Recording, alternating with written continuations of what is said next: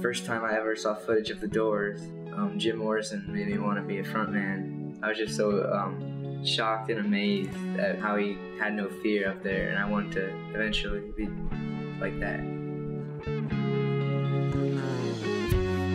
You may say that I'm too young to sing the blues.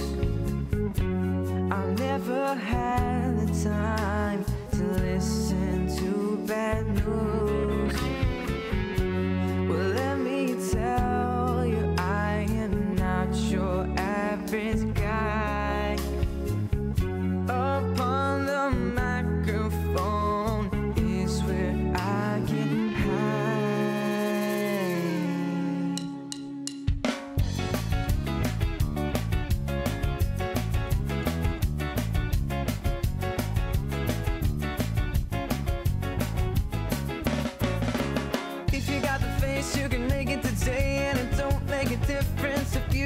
play.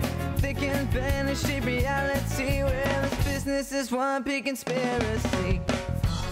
There's a lot of pressure in the business to to change who you are in order to make yourself sell better, and um, we've experienced some of that.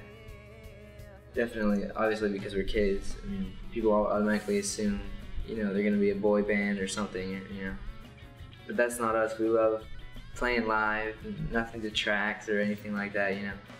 At first, it was tough to get people to go along with it because they think, you know, just a bunch of kids.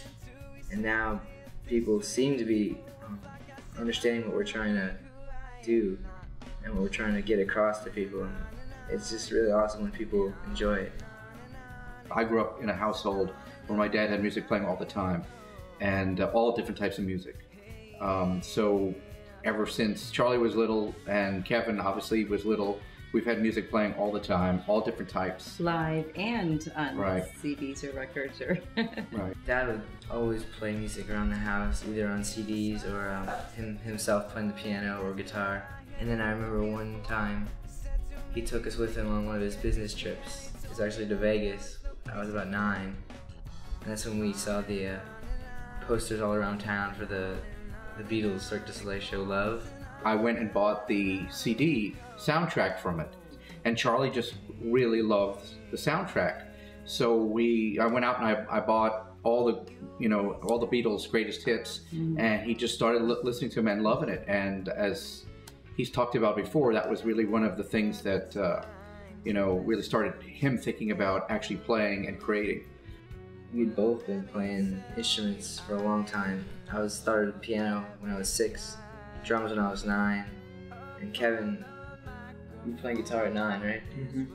But he had been taking lessons, um, both Charlie and Kevin, they both started on piano, and then he had switched to drums at that point when we took that trip to Las Vegas, and that's when his interest went from, okay, to telling them, time to practice, you, you know, you never, your teacher's coming over, you gotta. After that, it was, we didn't tell him to practice. He was so into the music that Kevin got him and played with him that he just th- there was no telling him to practice anymore. Now it was just a natural. I can't wait to learn it. I can't wait to get better, and that's what took took him up a notch. And then of course Kevin came a little later with his guitar playing, and um, that's how the whole thing got started.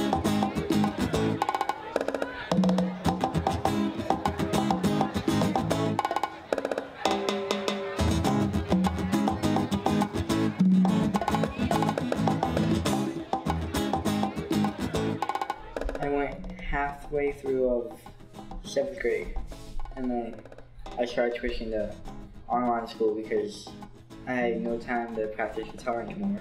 The boys' school situation has changed this year. For the first time, they are doing virtual school. They still have a teacher for every class, and they have online classes. And we did that because they, you know, um, wanted to play out more than just Fridays or Saturdays or Sundays. We started um, playing a lot more. The show started picking up and uh, playing a lot more frequently.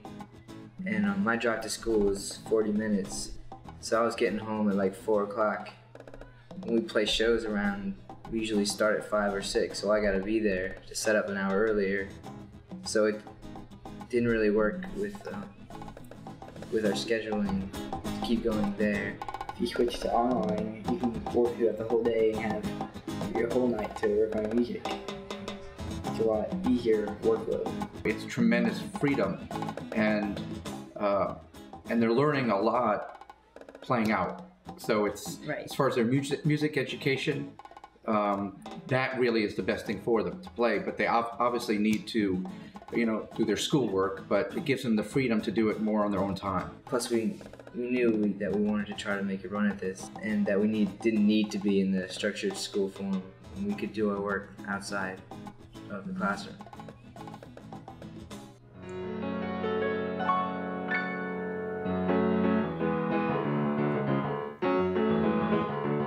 Sometimes it can be challenging because sometimes people your own age like they don't really understand what you're trying to do.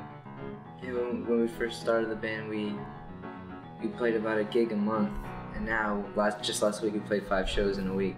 We have like one gig every weekend, at least. Yeah, one to two shows in the weekend, sometimes even three.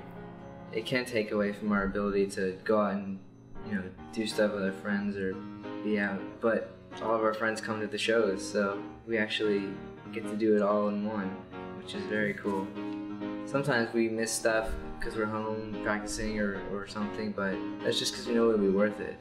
I was really, really inspired by with a John Mayer um, interview.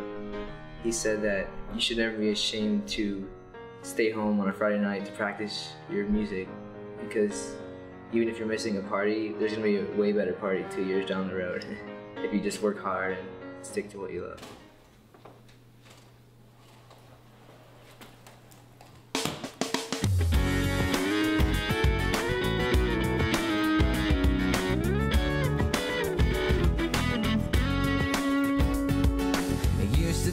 I had it all under control. Never thought. I think our first gig was the we played Crabby Bill's a Sunday one o'clock slot. Now we've got the uh, Saturday night slot, and that in itself we, we viewed as such an accomplishment.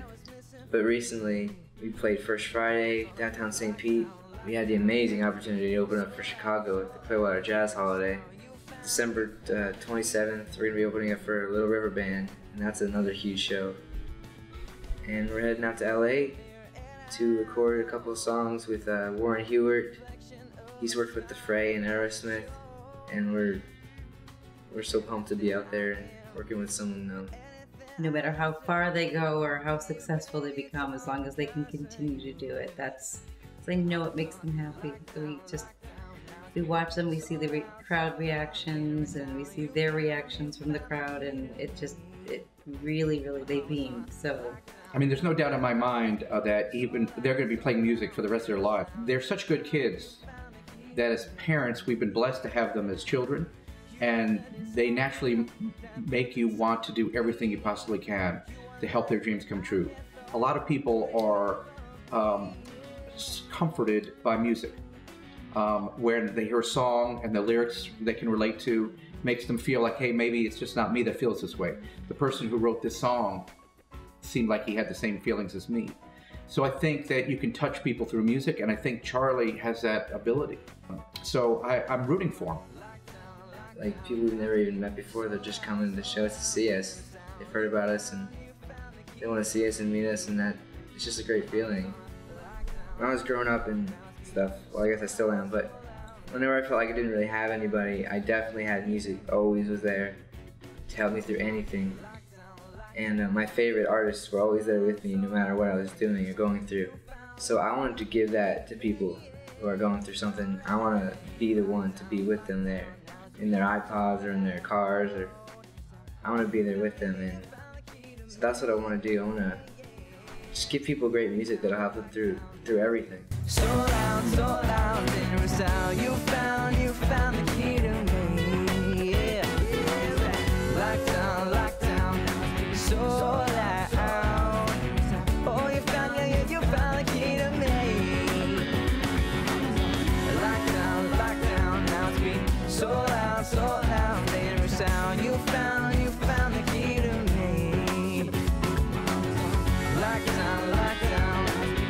me.